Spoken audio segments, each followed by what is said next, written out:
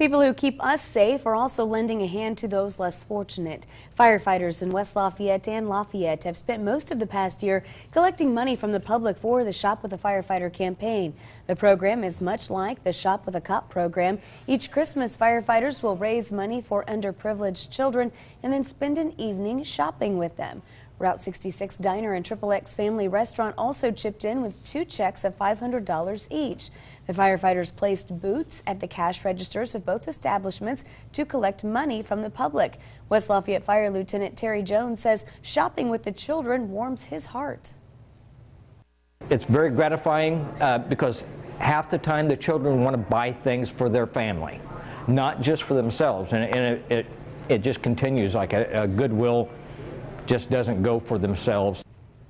Organizers expect to receive nearly $2,500 in donations. The boots are still in both Triple X and Route 66 for collections.